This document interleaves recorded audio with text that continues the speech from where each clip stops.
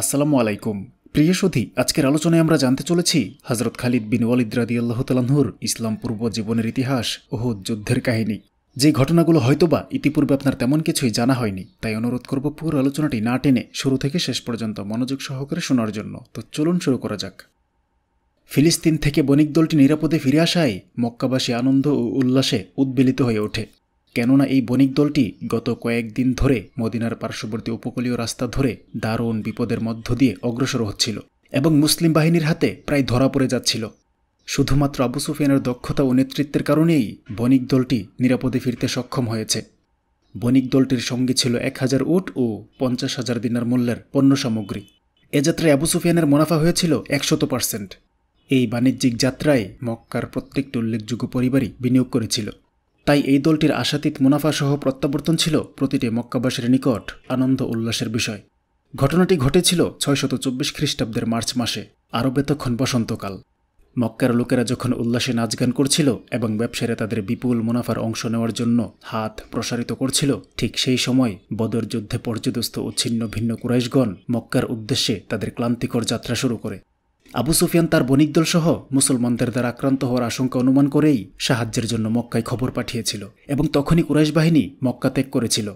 কিন্তু কুরাইশ বাহিনী ঘটনাস্থলে পৌঁছার পূর্বেই আবু সুফিয়ান বণিক দলসহ নিরাপদে বিপজ্জনক এলাকা অতিক্রম করতে সক্ষম হয় এবং কুরাইশ বাহিনীকে মক্কায় ফিরে যাওয়ার জন্য সংবাদ পাঠায়। কিন্তু কুরাইশ বাহিনীর কমান্ডার আবু জাহেল তাতে কর্ণপাত করেনি। সে জীবনের সুদীর্ঘ পনেরোটি বছর রাসুল সাল্লাহ সাল্লামের তীব্র বিরোধিতায় ব্যয় করেছে। সে এই সুযোগ হাতছাড়া করতে রাজি নয়। তাই মক্কায় প্রত্যাবর্তন না করে সে মুসলিম বাহিনীর বিরুদ্ধে বদর প্রান্তরে একটি যুদ্ধে নিজেকে জড়িয়ে ফেলে। কুরাইশ বাহিনী পথে থাকতেই একজন বার্তাবাহক একটি দ্রুতগামী উঠে করে মক্কায় পৌঁছে যায়। সে শহরের উপকণ্ঠে থাকতেই পরিধেয় বস্ত্র ছিঁড়তে ছিঁড়তে উচ্চস্বরে বিলাপ করে বদর প্রান্তরে বিষাদময় ঘটনার বর্ণনা দিতে থাকে। মক্কার লোকেরা যুদ্ধের খবর জানার জন্য দ্রুত তার আশপাশে সমবেত হয়। তারা তাদের প্রিয়জনদের কথা জিজ্ঞেস করতে থাকে এবং সে এক এক করে বলতে থাকে। তাদের মধ্যে আবু সুফিয়ান ও তার স্ত্রী হিন্দ উপস্থিত ছিল। বার্তাবাহকের নিকট থেকে হিন্দ তার প্রিয়জনদের ক্ষয়ক্ষতির খবর জানতে পারে। তার পিতা উদ্বা চাচা সাইবা, ভাই উলিদ ও পুত্র হানজালা এই যুদ্ধে প্রাণ হারায়। এরা সবাই নিহত হয়েছে আলী রাদি আল্লাহ তালাহু ও রাসুল সাল্লাহ সাল্লামের চাচা হামজা রাদি আল্লাহ তালাহুর হাতে। সে হামজা ও আলী রাদি আল্লাহ তালাহুকে অভিশাপ দিতে থাকে এবং প্রতিশোধ স্পৃহায় জ্বলতে থাকে। বদরের যুদ্ধ ছিল শত্রুর সঙ্গে মুসলিম বাহিনীর প্রথম বড় ধরনের সংঘর্ষ। তিনশত তেরো জন মুজাহিদের ক্ষুদ্র মুসলিম বাহিনী এক হাজার অবিশ্বাসের বিশাল বাহিনীর বিরুদ্ধে পাথরের মতো কঠিন হয়ে দাঁড়িয়েছিল। ঘণ্টা দুয়েকের প্রচণ্ড যুদ্ধের পর মুসলিমগণ কুরাইশ বাহিনীকে পর্যদস্ত করে ফেলে এবং কুরাইশগণ বিশৃঙ্খলভাবে যুদ্ধক্ষেত্র থেকে পলায়ন করে। কুরাইশ বাহিনীর উত্তম যোদ্ধাগণ এই যুদ্ধে নিহত অথবা বন্দী হয়। মুসলিম বাহিনীর মাত্র চোদ্দ জন যোদ্ধার শাহাদাতের বিনিময়ে বদর যুদ্ধে সত্তর জন অবিশ্বাসী কুরাইশ নিহত হয় এবং আরও সত্তর জন বন্দী হয়। নিহতদের মধ্যে সতেরো জনে ছিল বনি মাহজুম গোত্রের। এরা সকলেই ছিল খালিদের চাচাতো ভাই বা ভাতিজা। যুদ্ধে আবু জাহেল নিহত হয়।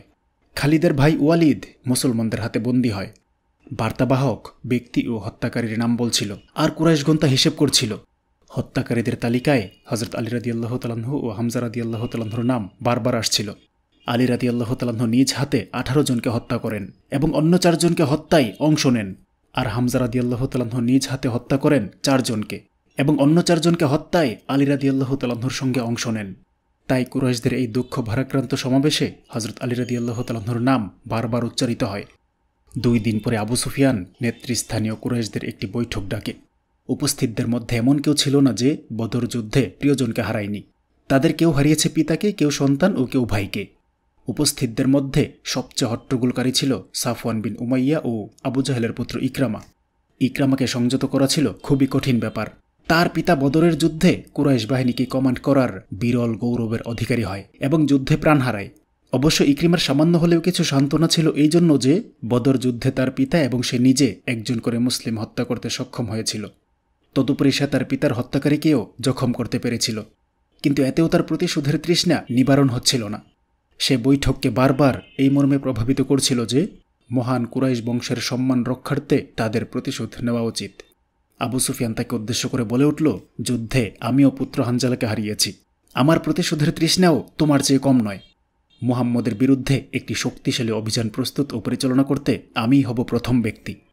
আবু সুফিয়ান নেতৃত্ব লাভের পরে দুইটি নির্দেশ দান করেন, যার প্রথমটি প্রায় সকলেই বিনা বাক্যে গ্রহণ করে।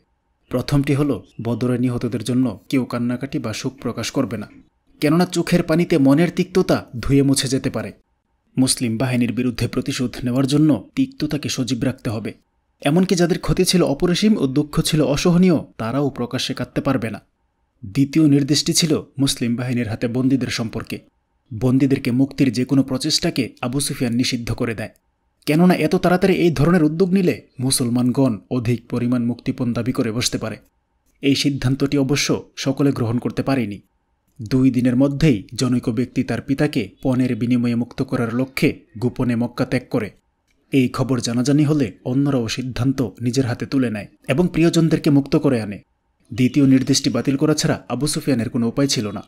মুক্তিপণের মাত্রা ছিল বিভিন্ন রকমের। সর্বোচ্চ ছিল চার হাজার দিরহাম। অবশ্য দরিদ্রদের নিকট থেকে সর্বনিম্ন এক হাজার দিরহামও গ্রহণ করা হয়েছিল। কিছু বন্দী ছিল মুক্তিপণ দিতে অক্ষম কিন্তু তারা শিক্ষিত ছিল। তারা মুসলিম বালক বালিকাদেরকে লেখাপড়া শেখানোর বিনিময়ে মুক্তি লাভ করেছিল। কিছু দুর্দশাগ্রস্ত বন্দীকে রাসুল সাল্লাহ আলহিসাল্লাম মুক্তিপণ ছাড়াই ছেড়ে দিয়েছিলেন এবং শর্ত দিয়েছিলেন যে তারা মুসলমানদের বিরুদ্ধে আর কখনো অস্ত্র ধারণ করবে না। বন্দি মুক্তির তৎপরতায় অংশগ্রহণকারীদের মধ্যে ইক্রিমা খালিদ ও তার ভাই হিসামও ছিল। খালিদ হিজাজ অনুপস্থিত থাকার কারণে বদর যুদ্ধে অংশগ্রহণ করতে পারেনি। খালিদ ও হিসাম তাদের ভাই ওয়ালিদের মুক্তির ব্যবস্থা করে। মুক্তিপণের অঙ্ক চার হাজার দীর্হাম শুনে হিসাম দর কষাকষি শুরু করে দেয়। ফলে খালিদ তাকে তিরস্কার করে। শেষ পর্যন্ত ওয়ালিদকে চার হাজার দীর্হামের বিনিময়েই মুক্ত করা হয়। তিন ভাই মক্কার উদ্দেশ্যে মদিনা ত্যাগ করে এবং কয়েক মাইল দূরে রাত্রি যাপনের জন্য জুল হোলাইফা নামক স্থানে তাবু ফেলে। ওয়ালিদ এখান থেকে রাত্রে পালিয়ে মদিনায় ফিরে যায়। এবং রাসুল সাল্লাহ সাল্লামের সঙ্গে সাক্ষাৎ করে ইসলাম গ্রহণ করেন। পরবর্তীকালে তিনি একজন নিবেদিত প্রাণ মুসলিম ও রাসুল্লাহ সাল্লাহ ইসলামের প্রিয় পাত্রে পরিণত হন। ইসলাম গ্রহণ করা সত্ত্বেও খালিদের সঙ্গে তার সম্পর্ক ছিল পূর্বের মতোই উষ্ণ ও প্রীতিময়। মুসলমানদের বিরুদ্ধে অভিযান পরিচালনার সিদ্ধান্ত গ্রহণের ক্ষেত্রে প্রতিশোধের স্পৃহা প্রাধান্য পেলেও অর্থনৈতিক অস্তিত্বের বিষয়টিও গুরুত্ব সহকারে বিবেচিত হয়। সিরিয়া ও ফিলিস্তিনে কুরাইশ বাণিজ্য দলের যাতায়াতের উপকূলীয় রাস্তাটি বদরের যুদ্ধের পর চিরতরে বন্ধ হয়ে যায়। সাফওয়ান বিন উমাইয়া নিরাপদ ভেবে অন্য একটি পথে সিরিয়ার উদ্দেশ্যে একটি বণিক দল পাঠায়। এই দলটি ইরাকের পথে মক্কা ত্যাগ করে এবং কিছু দূর যাওয়ার পর মদিনাকে এড়িয়ে উত্তর পশ্চিমে সিরিয়ার দিকে যাত্রা শুরু করে। তারা এই রাস্তাটিকে নিরাপদ মনে করেছিল। কিন্তু রাসুলুল্লাহ সাল্লাহ আলহিসাল্লাম এই সংবাদটি জানতে পেরে জায়েদকে একশো জন সৈন্যসহ পাঠান। এবং তিনি তাদেরকে রাসুলুল্লাহ সাল্লাহ আলাইস্লামের নির্দেশ মতো বন্দি করে নিয়ে আসেন। এই ঘটনার পর সাফওয়ান আবু সুফেনের সঙ্গে মিলিত হয়। দুই নেতা একমত পোষণ করে যে, সিরিয়ার সঙ্গে ব্যবসা বাণিজ্যের মধ্যেই যেহেতু তাদের অর্থনৈতিক কল্যাণ ও সমৃদ্ধি নির্ভরশীল, তাই যত তাড়াতাড়ি সম্ভব মুসলমানদেরকে ধ্বংস করে পথ উন্মুক্ত করা যায়, ততই মঙ্গল। ইক্রিমা অধৈর্য হয়ে পড়ে এবং অভিযান দ্রুততম করার জন্য চাপ সৃষ্টি করতে থাকে। আবু সুফিয়ান তার দীর্ঘ অভিজ্ঞতা থেকে জানত যে, একটি অভিযান প্রস্তুত করতে এবং উট ঘোড়া, অস্ত্র ইত্যাদি ক্রয় করতে অনেক সময় দরকার। তবুও সে যত দ্রুত সম্ভব সবকিছু করার জন্য প্রতিজ্ঞাবদ্ধ হয়। অভিযানের যথার্থ প্রস্তুতি শুরু হয়। প্রস্তুতি চলাকালে একজন সন্দেহজনক অবিশ্বাসী একটি প্রস্তাব নিয়ে আবু সুফিয়ানের সঙ্গে সাক্ষাৎ করে। লোকটি মদিনার আবু আমের, সে রাসুল সাল্লাহ সাল্লামের মদিনায় হিজরত ও তার আউস গুত্রের লোকদের দ্রুত ইসলাম গ্রহণ কোনোটিকেই ভালোভাবে নিতে পারেনি। ফলে সে মদিনা ত্যাগ করে এবং রাসুল সাল্লাহ সাল্লাম সেখানকার ক্ষমতায় থাকা পর্যন্ত ফিরিয়ে না যাওয়ার সিদ্ধান্ত নেয়। মক্কাই সে কুরেশদেরকে মুসলমানদের বিরুদ্ধে উত্তেজিত করার চেষ্টা করে। এক সময় আবু আমের সাধু নামে পরিচিত ছিল। কিন্তু রাসুল্লাহ সাল্লাহ সাল্লাম তার নাম দেন প্রতারক। ইবনে হিসাম দ্বিতীয় খণ্ড পৃষ্ঠা সাতষট্টি। সে আবু সুফিয়ানকে বলে, আমার সঙ্গে আমার গোত্রের পঞ্চাশ জন সদস্য আছে। আউস গোত্রের উপর আমার যথেষ্ট প্রভাব আছে। আমি মনে করি যুদ্ধ শুরুর পূর্বে মুসলিম বাহিনীর সঙ্গে যোগাযোগকারী আমার গোত্রের লোকদের উদ্দেশ্যে কিছু বলার সুযোগ দিলে তারা মুহাম্মদকে ত্যাগ করে আমার দলে যোগদান করবে। আবু সুফিয়ান এই প্রস্তাবটি আনন্দচিত্তে গ্রহণ করে। মদিনার প্রধান দুইটি গোত্রের মধ্যে আউস একটি এবং মুসলিম বাহিনীর এক তৃতীয়াংশ সদস্য ছিল এই গোত্রের। পার্শ্ববর্তী গোত্রগুলোর সঙ্গে আলাপ আলোচনা চলতে থাকে এবং কিনানা ও সকিফ গোত্রের দুইটি শক্তিশালী দল কুরাইশদের পক্ষে যোগদান করে। ছয়শত পঁচিশ খ্রিস্টাব্দের মার্চ মাসের প্রথম দিকে মক্কায় অভিযানকারীদের সমাবেশ ঘটতে থাকে। এ সময় মক্কা থেকে রাসুল্লাহ সাল্লাহ ইসলামের চাচা আব্বাস রাদিয়াল্লাহ তালাহ তাকে কুরাইশদের প্রস্তুতি সম্পর্কে বিস্তারিত লিখে জানান। মার্চের দ্বিতীয় সপ্তাহে কুরাইশগণ মক্কা ত্যাগ করে। তাদের সৈন্য সংখ্যা ছিল তিন হাজার, এর মধ্যে সাতশত ছিল বর্মধারী। এছাড়াও ছিল তিন হাজার উট ও দুইশত ঘোড়া। সঙ্গে শিবিকাই করে, অর্থাৎ পালকিতে করে, পনেরো জন কুরাই শ্রমণীয় যোগদান করে, যাদের দায়িত্ব ছিল বদর প্রান্তরে নিহত প্রিয়জনদের কথা সৈনিকদের মনে করিয়ে দেয় এবং তাদের মনোবল বৃদ্ধি করে। মহিলাদের এই দলের নেতৃত্ব দেয় আবু সুফেনের স্ত্রী হিন্দা। অন্যদের মধ্যে ছিল ইক্রিমার স্ত্রী, আমর ইবনুল আসের স্ত্রী এবং খালিদের বোন।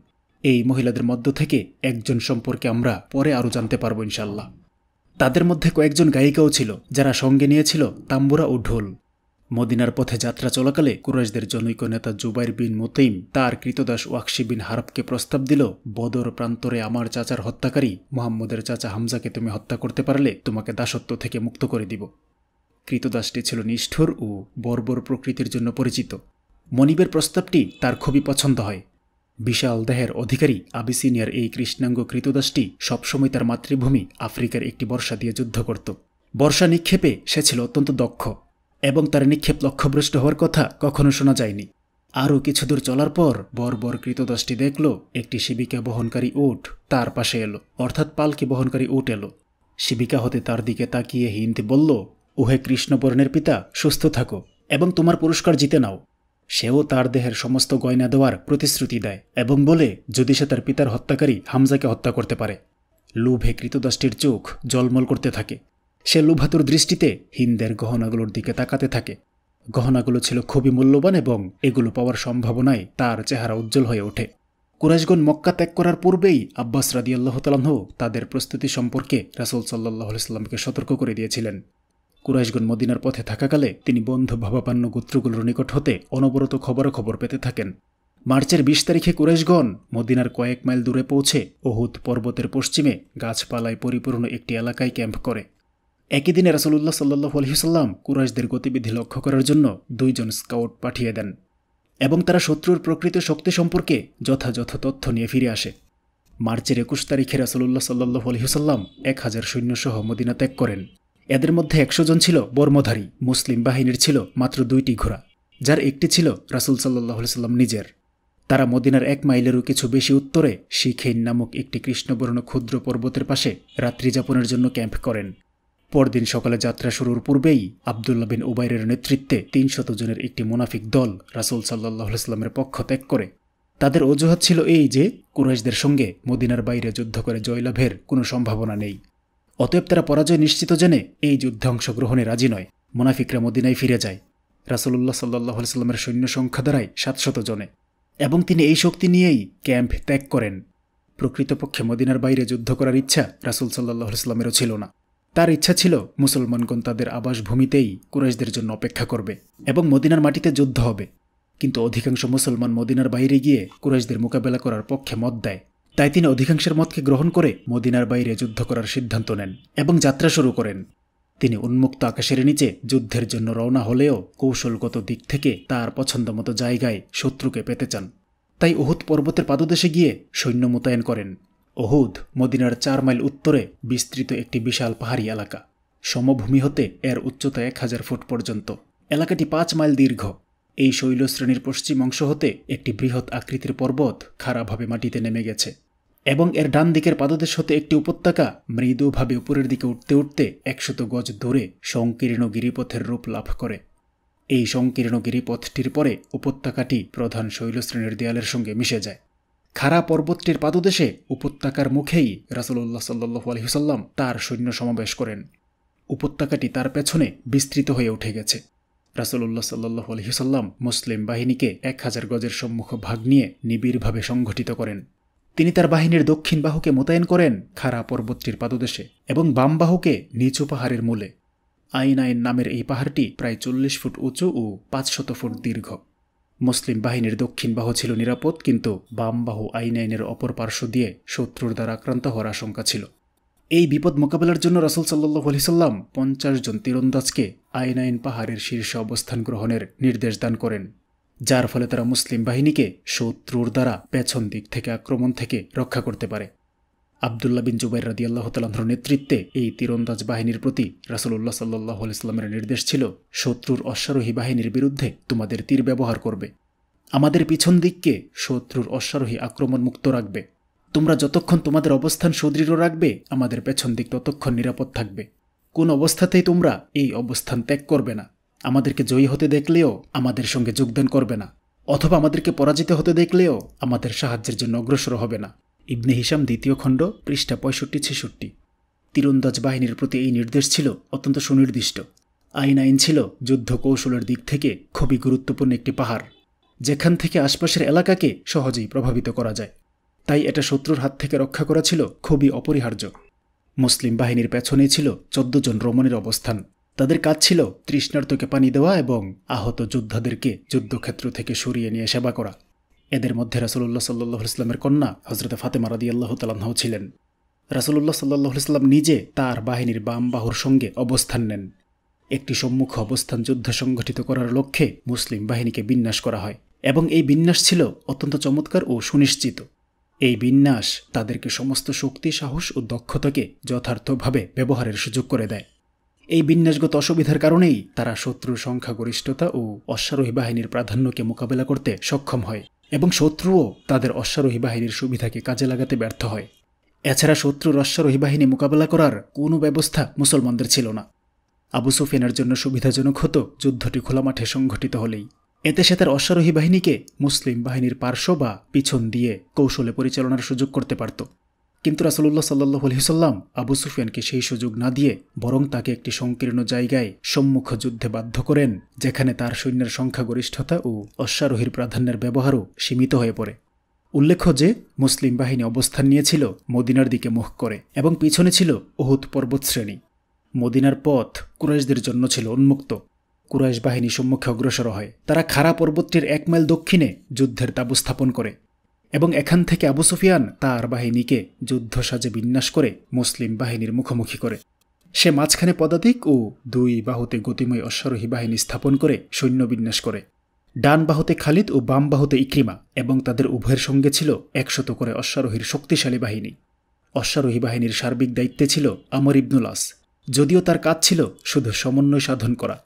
আবু সুফিয়ান একশত তীরন্দাজকে প্রাথমিক সংঘর্ষের জন্য সম্মুখ সারিতে মোতায়েন করে।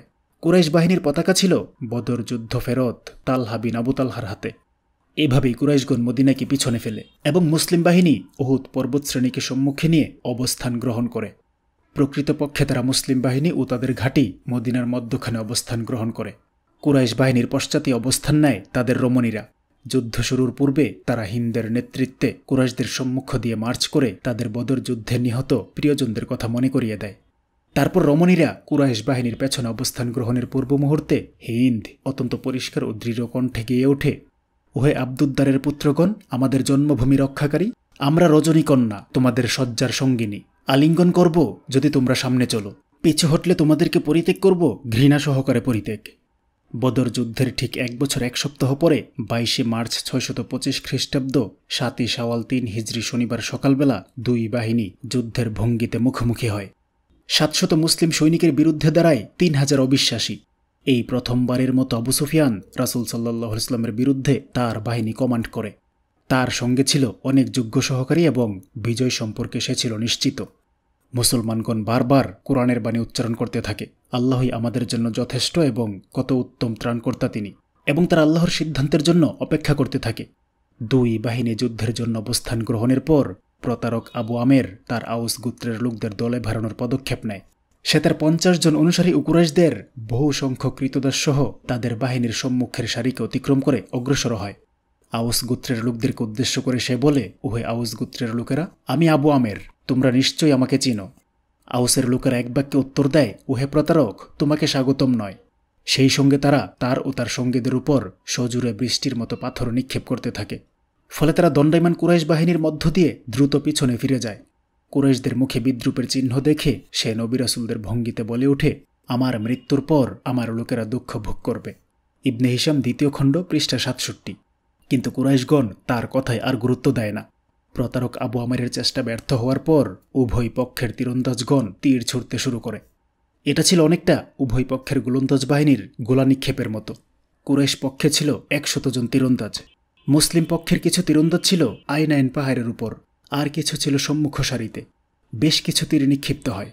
তীরন্দাজদের ছত্রছায়াই খালিদ তার অশ্বারোহী বাহিনী নিয়ে মুসলিম বাহিনীর বাম বাহুকে আক্রমণ করে। কিন্তু মুসলিম বাহিনীর তীরন্দাজদের নির্ভুল লক্ষ্যের কারণে তারা পিছু হটতে বাধ্য হয়। তীরন্দাজদের সংঘর্ষ শেষ হওয়ার সঙ্গে সঙ্গে যুদ্ধক্ষেত্র থেকে কুরাইশ শ্রমণেদের কণ্ঠে সেই গানটি আবার ভেসে আসে আমরা রজনীকন্যা। পরবর্তী পর্যায়টি ছিল দুই বাহিনীর প্রধান যোদ্ধাদের দ্বন্দ্বযুদ্ধ। কুরাইশ বাহিনীর পতাকাবাহী তালহা সম্মুখে অগ্রসর হয়ে চিৎকার করে বলে, আমি আবু তালহার পুত্র তালহা। এমন কেউ আছে যে আমার সঙ্গে লড়তে চায়? তার এই আহ্বানে হজরত আলী রাদি আল্লাহ তালাহ এক লাফে সামনে অগ্রসর হয়ে তালহা আঘাত করার পূর্বেই তরবারির আঘাতে তাকে ধরাশায়ী করে ফেলেন। তালহা শুধু আহত হয়। হজরত আলী রাদি আল্লাহ তালাহ তাকে পুনরায় আঘাত করার জন্য তরবারি ওঠানোর সঙ্গে সঙ্গে সে ক্ষমা ভিক্ষা করে। হজরত আলী রাদি আল্লাহ তালাহ আঘাত করা থেকে বিরত থাকেন। পরে সর্বাত্মক যুদ্ধ শুরু হলে আহত তালহাকে মুসলিমগণ সরিয়ে ফেলে। তালহার পতনের পর অন্য একজন অবিশ্বাসী সামনে আসে এবং কুরাইশ পতাকা হাতে তুলে নেয়। হামজা রাদি আল্লাহ তালাহ এই লোকটিকে হত্যা করে। এই দৃশ্যটি কুরাইশ বাহিনীর পিছন থেকে বর বর কৃতদাসটি লক্ষ্য করে। সে হজরতে হামজাকে পাশ থেকে আঘাত করার জন্য চুপি চুপি ডান দিকে অগ্রসর হয়। হজরতে হামজা রাদি আল্লাহ তালাহুর পাগড়ির মধ্যে একটি লম্বা উটপাখির পালক গুজে দিয়েছিলেন। তাই তাকে লক্ষ্য করা ছিল খুবই সহজ। ক্রমান্বয়ে দ্বন্দ্বযুদ্ধ ব্যাপক রূপ লাভ করে। তালহার আত্মীয় স্বজন একের পর এক কুরাইশ পতাকা উত্তোলন এবং মুসলমানদের হাতে নিহত হতে থাকে। সবচেয়ে বেশি ধরাশায়ী হয় আলিরাদি আল্লাহ তালাহর তরবারির আঘাতে। আবু সুফিয়ানু ঘোড়ার পিঠ থেকেই দ্বন্দ্বযুদ্ধে অবতীর্ণ হয়। হানজালা বিন আবু আমির রাদি আল্লাহ তার মোকাবিলা করে। আবু সুফিয়ান বল্লম ও তরবারি ব্যবহার করার পূর্বেই হানজালা রাদি আল্লাহ তার ঘোড়ার সামনের পায়ে আঘাত করে এবং সেই ঘোড়া থেকে পড়ে যায়। আবু সুফিয়ান সাহায্যের জন্য চিৎকার করতে থাকে। তার একজন সঙ্গী এগিয়ে আসে এবং সে হানজালাকে হত্যা করতে সক্ষম হয়। আবু সুফিয়ান দ্রুত নিরাপদ স্থানে চলে যায়। সম্মানিত সুধী, ওহুদ যুদ্ধে খালিদ রাদি আল্লাহ সম্পর্কে এই ছিল আমাদের আজকের আলোচনার প্রথম অংশ। পরবর্তী আলোচনাগুলো শোনার আমন্ত্রণ জানিয়ে আজকের আলোচনা থেকে এখানেই বিদায় নিচ্ছি। আমি ইসলামের ইতিহাস আর ঐতিহ্যগুলো জানতে এবং আপনাদেরকে জানাতে চেষ্টা করি এবং আরও চেষ্টা করি সর্বদা সত্য ইতিহাসগুলো আপনাদের সামনে তুলে ধরতে। তারপরেও আমার মধ্যে ভুল ত্রুটি থাকতেই পারে। বড় ধরনের কোনো ভুল যদি আপনার দৃষ্টিগোচর হয়, অনুগ্রহ করে কমেন্টের মাধ্যমে শুধরে দিলে কৃতজ্ঞ থাকব। আর ছোটখাটো ভুলগুলোকে ক্ষমার সুন্দর দৃষ্টিতে দেখলে অনুপ্রাণিত হব। সর্বোপরি আলোচনাটা যদি ভালো লাগে একটি লাইক দিতে পারেন, প্রচারের স্বার্থে আলোচনাটি শেয়ার করতে পারেন এবং নিয়মিত এই ধরনের আলোচনা পেতে অনুগ্রহ করে চ্যানেলটি সাবস্ক্রাইব করতে পারেন। আসসালামু আলাইকুম রহমতুল্লাহি অবরাকাতহ